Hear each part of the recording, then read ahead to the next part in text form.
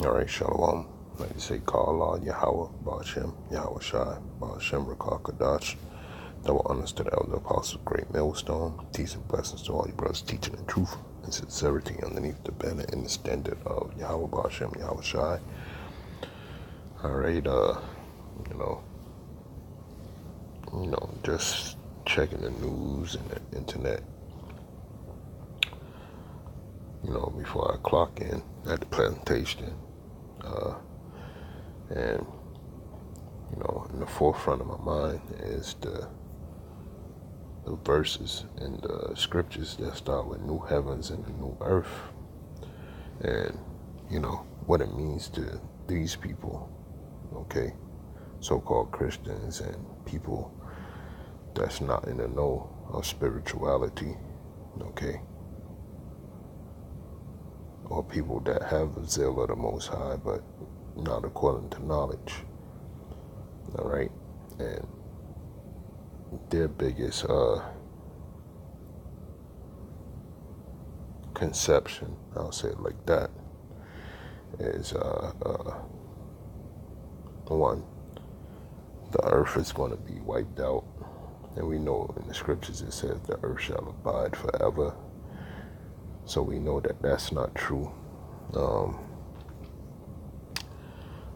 when it all comes down to it, they still think that whatever happened, the same uh, construct that you got in front of you today, which is of uh, the so-called white man, which is Esau Edom, will still hold this uh, uh, this ground, man. Okay, and I just wanted to pull out a couple of scriptures, you know, um, from the KJV right.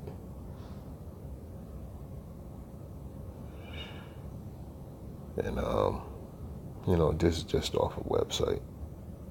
And the website is in the blue.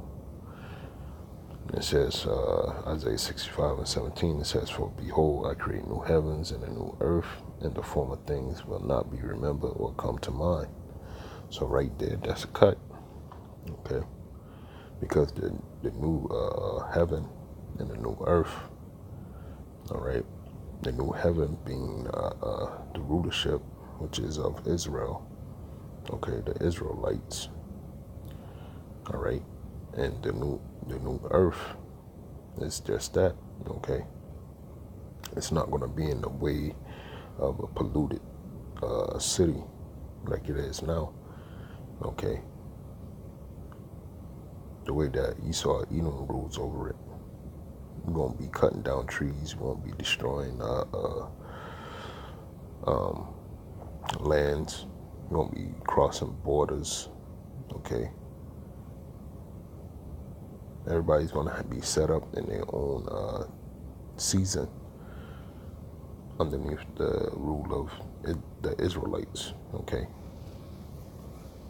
And after the uh, slavery of the so-called white man which is going to be annihilated after a thousand years, uh, which is Esau, Edom. Okay. The other nations that's in servitude will get their lands and be set up there under subjection of the Israelites. Okay. Not my words, it's what's in the scriptures. Okay. This is Hebrews 12 and 26 and 27. It says, And his voice shook the earth then, but now he has promised, saying, Yet once more will I shake not only the earth, but also the heavens. Okay. And you know, they they they have their own little uh um meanings. Okay. But when you clearly see that it says yet once more. So after the flood, okay, this this second uh, big um, catastrophe that's going to wipe out a majority of people. It's those thermonuclear missiles and the plagues that's going to be sent forth on the earth, okay, to dwindle down the numbers set forth by Yahweh Ba'ashem Yahweh Shai. All right. So it says, yes, once more will I shake not only the earth, but also the heavens. Okay. Because when you read in the scriptures, it said the earth shall reel to and fro like a drunkard with great noise. Okay. And that's those thermonuclear missiles hitting uh, land masses. All right. So he's going to shake the earth and then the heavens. Okay. Those those governments that set up all over, which are the uh, seven heads and ten horns, I believe. NATO, EU, okay. Those those uh those facets of governments are gonna fall, man. Okay.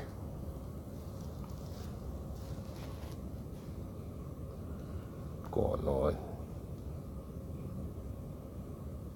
Second Peter's 3 and 12 and 13, it says, looking for and hastening the coming of the day of power, because of which the heavens will be destroyed by burning, and the elements will melt with intense heat. But according to his promise, we are looking for new heavens and a new earth in which righteousness dwells. Okay. And let me get this. Uh,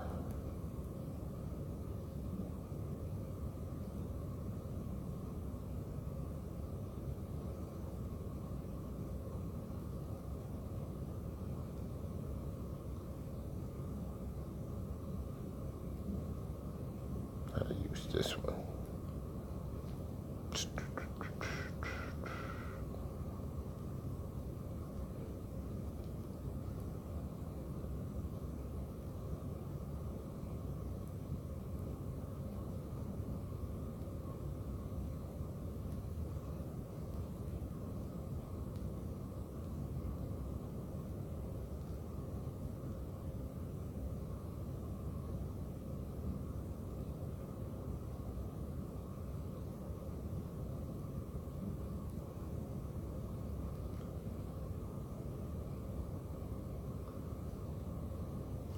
So when you look at this one, this verse right here, it's talking about those those missiles, man. Okay, just looking for hastening on to the coming of the day of power, wherein the heavens being on fire shall be dissolved, and the elements shall melt with fervent heat. Nevertheless, we, according to His promise, look for new heavens and new earth wherein dwelleth righteousness. Okay, and that's uh contrary to popular belief but it's in the scriptures, man. Okay, so what do we know? We know that, uh, aka uh, America, Babylon the Great, uh, America, aka known as Babylon the Great, it's going to be annihilated, okay, by thermonuclear missiles and other spots on the planet as well. But uh, all would not be uh, destroyed or lost to the magnitude that uh, Babylon the Great is going to be lost. Okay, it's going to be a desert here, all right? The smoke's going to go up forever, as opposed to other places that might get hit,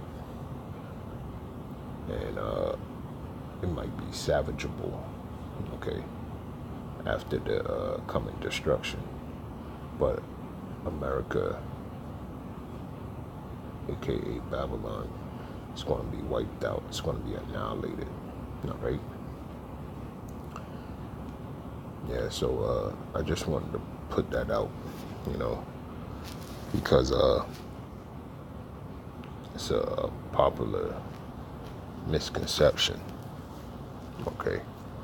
By Christians and you know people with the zeal the Most High, but not according to knowledge.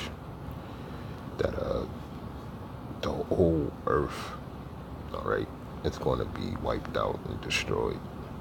You know. So with that, I want to say shalom.